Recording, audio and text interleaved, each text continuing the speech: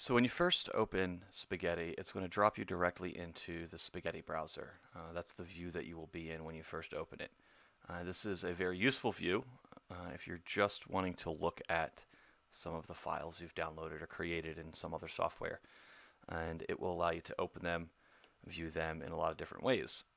So here's, I'm just going to click through a couple of these test patterns. Um, there's a browser on the right hand side that you can scroll through and get to all of your different files. It's just a regular Windows file browser. It's easy to use. I happen to already be in my test patterns folder.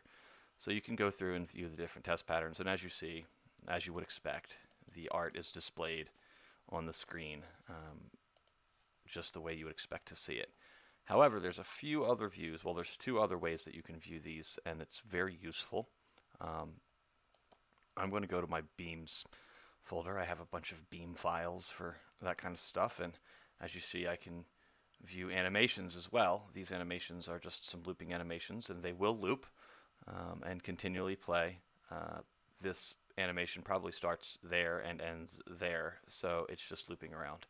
Um, but if you click this window once, you'll get to see what that would look like as a beam.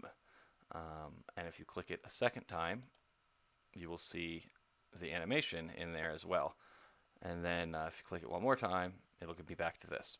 So we're going to use this animation here. So this is a nice, you know, figure eight rainbow pattern. And if I click it once, you'll see that that's happening. And if I click it again, you can see that um, you'll be able to see the actual animation behind the beam or in the beam, the animation that's causing the beam actually.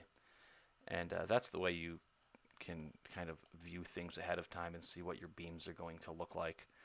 Uh, obviously, this is going to be just a view from the center. Oftentimes, we're viewing beams from below, but uh, this will give you a basic idea. And that's it. That is how the browser view works. There's not much more to it. And the next videos will cover um, opening uh, the drawing view, doing some drawings, and how to make actual projects that are timed to music.